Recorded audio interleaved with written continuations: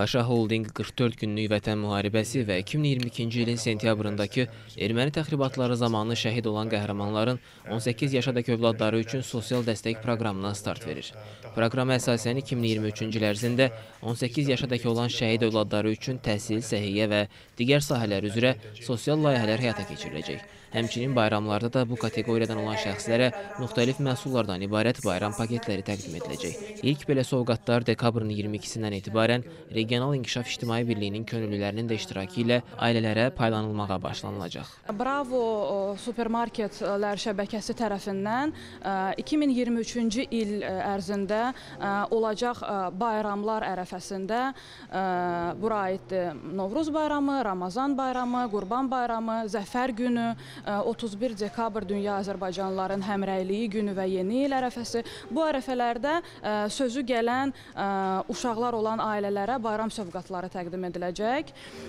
Daha sonra 1 ə, yanvar 2023-cü il tarixindən etibarən Paşa Sığorta tərəfindən bu uşaqlar sığortalanacaq və sığorta paketi bu genişləndirilmiş bir paket olacaq. Bu nə deməkdir? Bura stomatologiya sahəsi, xroniki xəstəliklərin müayinəsi və müalicəsi bu kimi xidmətlər də əlavə olunacaq və eyni zamanda ə, sentyabr ayına yaxın yeni tədris ilinin ə, başlanmasına yaxın 44 günlük vətən müharibəsində şəhid olan şəxslər və sentyabr ə, təxribatı zamanı şəhid olan şəxslərin 18 yaşına dək olan övladları üçün məktəbli ləvazimatların təqdimə, təqdim edilməsi bu istiqamətdə ə, fəaliyyətlər görüləcək. Hesab edirəm bu cür e, layihələrin həyata keçirilməsi olduqca vacibdir. Bu hər birimizin məsuliyyətidir. E, insan vətəndaş olaraq e, çox əhəmiyyətlidir və vacibdir və mən bu cür layihələrin həyata keçirilməsinə görə Paşa Holdinq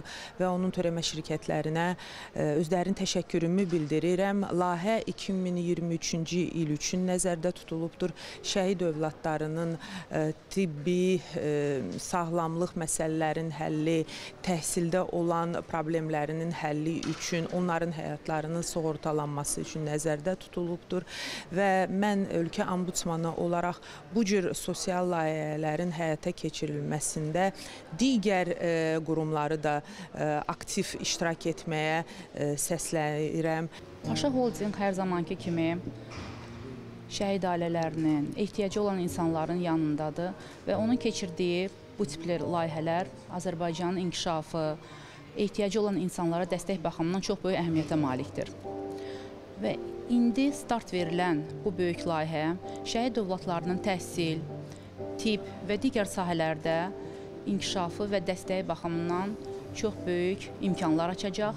Onların cəmiyyətdə özlərini daha möhkəm, əmin hiss etmələri üçün böyük üfüqlər yol açacaqdır. Müdafiəsi daim dövlətimizin diqqət mərkəzindədir. Mən 2020-ci ildən etibarən Paşa Holdingin əsas məqsədlərindən biri də Azərbaycanın işğaldan azad olunan ərazilərinin bərpası və yenidən qurulmasına, bu ərazilərdə dayanıqlı iqtisadiyyatın formalaşmasına töhfə vermək, vətən müharibəsinin şəhid və qazi ailələrinə dəstək göstərməkdir. Bunu nəzərə alaraq şirkət bu proqramların uzunmüddətli davam etməsini planlaşdırır. Tələbatdan asılı olaraq növbəti illərdə proqramda müvafiq dəyişikliklərin edilməsi də mümkündür. Qeyd edək ki, 44 günlük müharibədə şəhid olan şəxslərin 18 yaşına dək övladları üçün 2023-cü ildə keçiriləcək bu sosial proqramın ümumilikdə 2 milyon manat təşkil etməsi nəzərdə tutulub. dərindən dərk edən şirkətlər sırasındadır.